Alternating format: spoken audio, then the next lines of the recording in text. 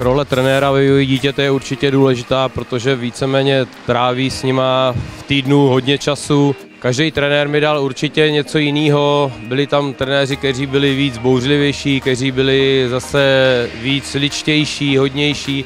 Od každého určitě jsem si vzal něco a každý měl určitě nějaký přínos.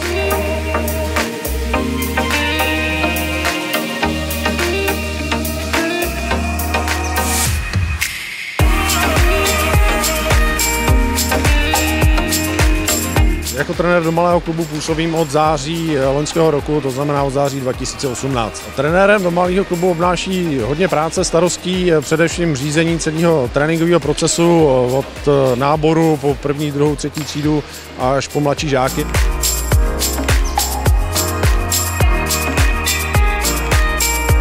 Trenérský krédo úplně nemám, asi se řídím tím prostě bav se hokejem.